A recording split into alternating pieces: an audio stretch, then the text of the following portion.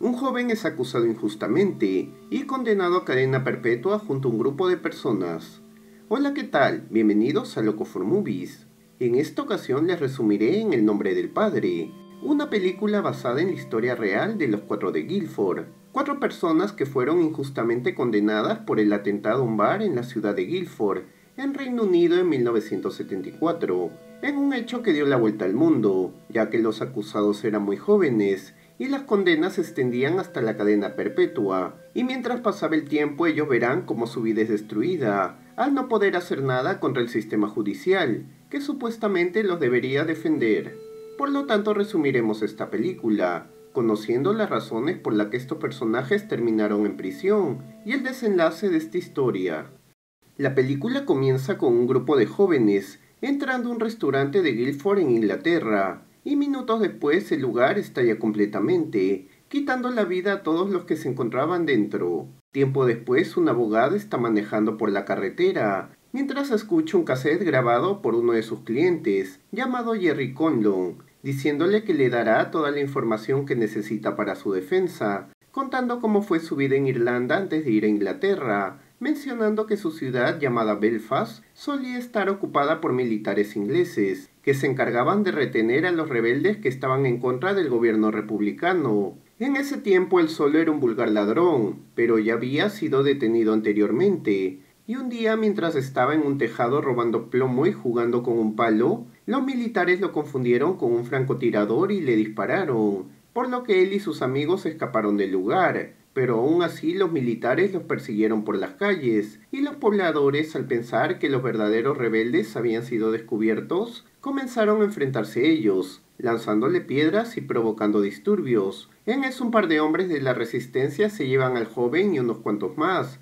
Luego son acusados de haber puesto en riesgo la operación y supuestamente haber querido robar sus armas. Pero de pronto el padre de Jerry, llamado Giuseppe, aparece y logra convencer al hombre que libere a los jóvenes. Y mientras se va del lugar con su hijo, le pide que trabaje y que deje de robar pero como Jerry no le hace caso, le dice que sus días en ese lugar están contados. Tiempo después, sus padres mandan a Jerry a Inglaterra para que deje de meterse en problemas. El joven se despide de su familia y es acompañado por su padre. Y mientras caminan, el hombre le cuenta a su hijo que también estaba por huir del país, pero volvió por el amor que sentía por su madre. Luego llegan al muelle y su padre se despide de él, aconsejándole ganar dinero honradamente. Jerry se va y al entrar al barco se encuentra con un amigo llamado Paul. Los jóvenes se saludan y van por unos tragos, divirtiéndose y cantando. Días después los jóvenes llegan a Londres y Jerry decide ir a una comuna hippie para divertirse, a pesar que sus padres le indicaron que vaya a la casa de su tía Annie. Ambos llegan a la comuna, encontrándose con un amigo llamado Paddy. El joven les presenta a sus compañeros, quienes votan a favor que se queden en ese lugar. Sin embargo, hay uno que no se muestra contento, porque ve que la chica que le gusta coquetea con Jerry. Minutos después, una de las chicas se encuentra carne en una de las maletas de los chicos y les dice que todos de la comuna son vegetarianos. Sin embargo, Jerry se excusa, diciendo que es un encargo para su tía, agregando que regresarán después de entregárselas. Jerry se encuentra luego con su tía, y le dice que no podrá quedarse porque irán a otro lugar, donde formarán una banda musical. Mientras tanto, un hombre extraño recibe un paquete de una joven y le pregunta si todo está ahí, y después que la joven le confirma que sí, le dice que es hora de trabajar. Semanas después, los jóvenes están con el resto de la comuna, corriendo y divirtiéndose en el parque, cuando de pronto se escucha una fuerte explosión, y una de ellas menciona que fue una bomba. Al día siguiente Jerry llama a su padre para pedirle dinero, pero su orgullo puede más y le dice que no necesita nada porque tiene un buen trabajo, despidiéndose rápidamente. Más tarde regresan a la comuna con algo de comida, cuando de pronto uno de los chicos les dice que se larguen a su país, ya que trajeron el caos a Londres. Esto provoca la ira de Jerry Paul, que lo insultan y les dicen que dormirán en otro lugar. Por otro lado, el hombre extraño les dice a un grupo de jóvenes que harán algo a las ocho en punto, y no habrá ninguna advertencia.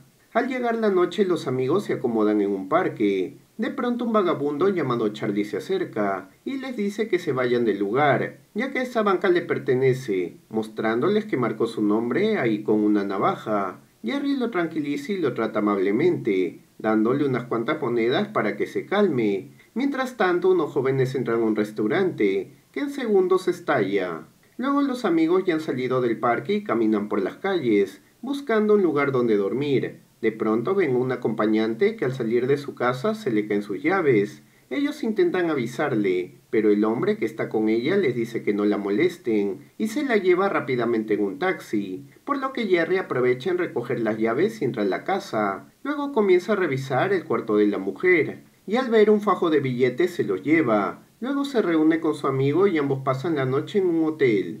Al día siguiente Jerry compra ropa extravagante y luego regresa a Irlanda, sorprendiendo a su familia ya que consiguió mucho dinero. Por otro lado, el chico de la comuna que odiaba a Jerry se encuentra con la policía y les insinúa que Jerry Paul con un par de sus amigos son parte del grupo de los que están haciendo estallar bombas en ese lugar. Luego les dice que Jerry con su amigo consiguieron mucho dinero y se regresaron a su ciudad por lo que la policía rápidamente viaja a Irlanda y detienen a Jerry y a su amigo, pese a que su padre aboga por él.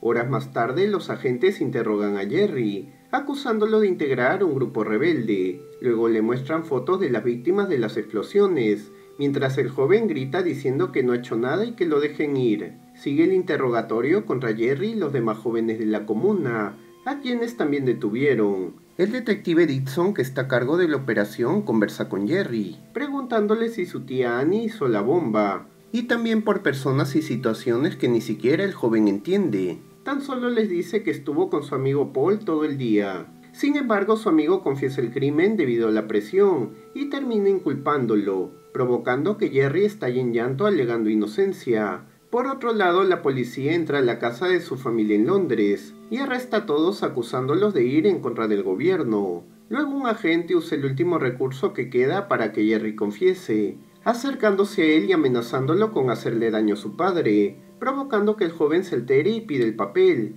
firmando su confesión. Jerry es llevado luego a la cárcel, también su amigo y otros dos más de la comuna. El joven llega al lugar, luego es bañado, desinfectado y encerrado en una celda. Pasan las horas y escucha la voz de su padre, se levanta y al ver que también le están apresando comienza a gritar desesperadamente, alegando que su padre es inocente. Minutos después, padre e hijo se encuentran en la misma celda y hablan sobre lo ocurrido. Jerry le dice a su padre que no fue el responsable del atentado.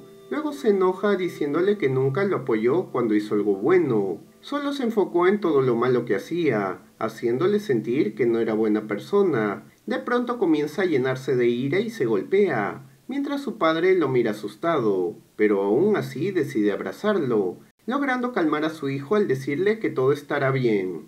Tiempo después su familia los visita. La madre está enojada con Jerry ya que piensa que es el culpable del atentado, pero su padre lo defiende, diciéndole que es inocente y firmó la confesión solo para defenderlo, por lo que es un buen hijo.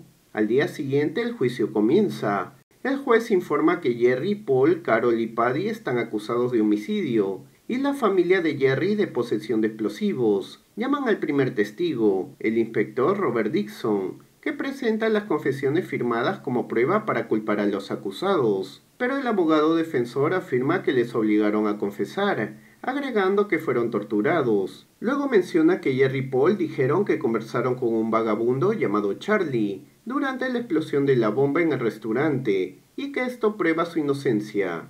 Minutos después llaman a Jerry para que pueda testificar. El joven da su testimonio, mencionando que estuvo con el vagabundo esa noche, pero la policía le dijo que ese hombre nunca existió, agregando que firmó su confesión solo porque amenazaron con lastimar a su padre. Sin embargo, el juez no le cree debido a su pasado criminal. El debate continúa y uno de los acusadores presenta declaraciones, donde Jerry confiesa que robó un acompañante esa misma noche, por lo que su credibilidad se vuelve dudosa, agregando que los jóvenes de la comuna y la familia de Jerry son gente totalmente peligrosa y merecen ir a prisión.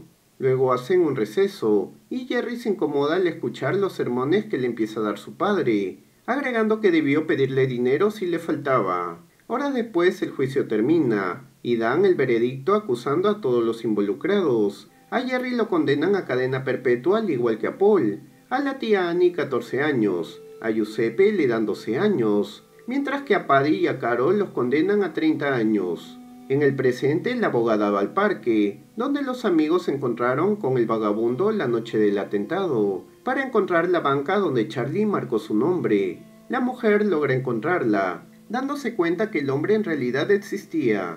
Días después, padre e hijo son trasladados a una cárcel de máxima seguridad. Durante el primer día, Giuseppe se presenta ante todos, diciendo que su hijo y él han sido encarcelados de manera injusta, pero todos los demás comienzan a gritarles por ser irlandeses, arrojándoles basura y comida y expulsándolos del comedor.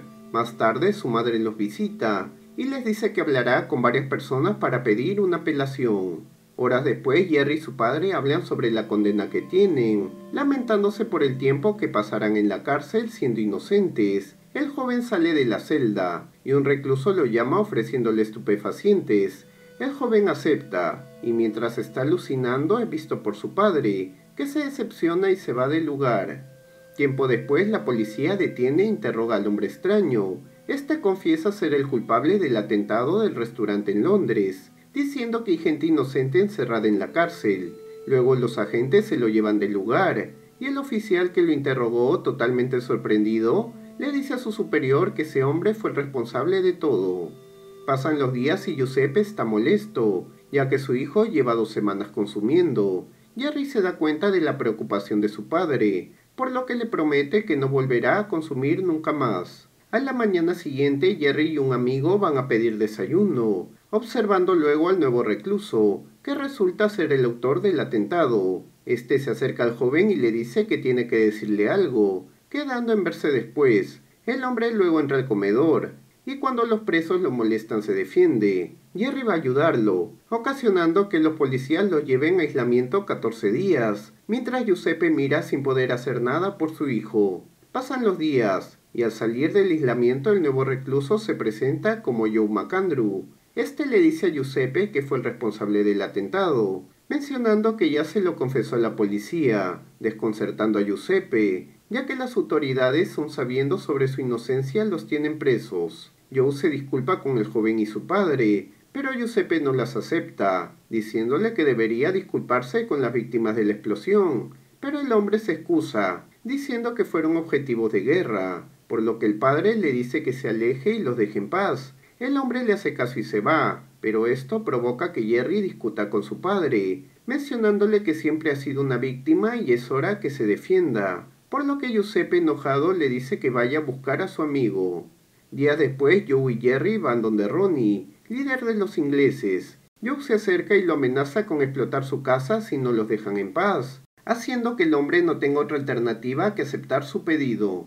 Con el transcurso del tiempo todos se hicieron amigos, pero los policías no estaban contentos con eso, así que incrementaron la vigilancia sobre Joe, ya que pensaban que entre todos estaban planeando algo. Eso hizo que el hombre empiece a protestar junto a los demás reclusos, cubriendo las cámaras de seguridad con mantas y escribiendo frases en una sabana pidiendo justicia para Jerry y su padre. Giuseppe le pide que detenga todo ya que habrá violencia, pero Joe continúa. Las protestas llegan a la televisión. Al llegar la noche, los antimotines entran y golpean a todos los reclusos. Giuseppe herido le pregunta a Joe si está feliz con lo que hizo, mientras la policía los señala como los líderes de la protesta. Horas después, Garrett, la abogada de Jerry, entra al lugar, apuntando los nombres de los reclusos golpeados, mientras solicita hablar con Giuseppe. El anciano le comenta que sufre de trombosis pulmonar preocupando a la mujer ya que no sabe si está recibiendo medicamentos. Luego Jerry pide ver a la abogada. Él le reprocha por darle falsas esperanzas a su padre, pero Garrett le dice que lo que está matando a su padre es su falta de fe, provocando que el joven se amargue y salga del lugar. A la mañana siguiente todos salen al patio, menos Giuseppe que había enfermado luego de las protestas. Horas después recibe unas cartas, y Barker, uno de los jefes de seguridad, le dice que fue mencionado en el Congreso, entablando una conversación amena con él, pero se detiene al ver salir a Joe de la habitación. Llega la noche y los presos son llevados a ver una película, mientras Jerry recuerda que Joe buscaba la manera de vengarse del oficial Barker por haber llevado a los antimotines. Los presos se acomodan y empiezan a ver la película. De pronto unos reclusos comienzan a quejarse de una basura en el proyector, haciendo que Barker se acerque. Esto es aprovechado por uno de los prisioneros que pone una manta en el proyector, y Joe aprovecha prendiéndole fuego al guardia. Barker empieza a gritar de dolor, pero es salvado por Jerry, mientras su padre y el resto de reclusos ven horrorizados lo que está ocurriendo. Jerry sin hacer caso se retira del lugar, a pesar que Joe les advirtió que se queden ahí, perdiendo su liderazgo. Luego sube entrando con su padre a su celda. Luego del incidente, el jefe Barker quedó marcado de por vida, y a Joe lo trasladaron a otra prisión, condenándolo a aislamiento total. Jerry decide estar más tiempo con su padre, y lo encuentra sellando varias cartas que estuvo escribiendo como forma de protesta, pidiéndole participar. Su padre acepta y a los días le da una grabadora para que diga todo lo que sabe, al ver que su hijo se complica mucho al escribir. Pasan los días y mientras Jerry cuida a su padre, este le cuenta que desde que estuvo en la cárcel nunca dejó de pensar en su madre, y que eso hizo mantener sus esperanzas siempre. Luego le pide a su hijo que le tome de la mano, ya que tiene miedo porque siente que se está muriendo. A la mañana siguiente la abogada va donde el inspector Dixon, solicitándole una corte de perdón para Giuseppe por su enfermedad. El inspector le dice que no es posible porque son asesinos, agregando que solo mienten para su beneficio. Al llegar la noche el padre y el hijo están descansando, cuando de pronto Giuseppe deja de emitir sonidos, preocupando a Jerry que al tratar de despertarlo se da cuenta que su padre se está ahogando. El joven comienza a pedir auxilio, y los guardias lo llevan rápidamente al hospital, mientras Jerry pide ir con él pero es retenido en su celda, quedándose sentado a esperarlo. Horas después un sacerdote le informa a Jerry que su padre acaba de fallecer, dejando sin palabras al joven. Luego los demás presos encienden hojas y las arrojan por las ventanas, diciendo que mataron a Giuseppe, siendo observados por el joven que llora desconsoladamente. Un mes y medio después, los guardias le traen cartas a Jerry, mientras Dixon, muy nervioso, mira desde el televisor que las manifestaciones cada vez crecen más, haciendo que el caso de injusticia sea famoso. La abogada en repetidas ocasiones le pide al inspector revisar los archivos del caso de Giuseppe, dándole la información que desea, pero todo es en vano, ya que el caso está bajo la supervisión y control de Dixon. Tiempo después trasladan a Jerry a una prisión de Escocia donde lo aíslan, pero la abogada se presenta ante un juez logrando que regresen al joven. Pasa el tiempo y la abogada continúa exhaustivamente con el caso, mientras en medio de las protestas Jerry escucha lo que grabó en el cassette, recordando a su padre y todo lo que le hicieron a su familia.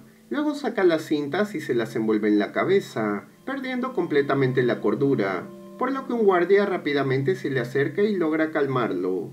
Al día siguiente Garrett va a revisar los archivos, pero el guardia a cargo enfermó, dejando otro supervisor. Esto es aprovechado por la mujer que pide todos los archivos, descubriendo la conspiración de la policía. Más tarde la abogada le cuenta todo a Jerry y este se pone furioso.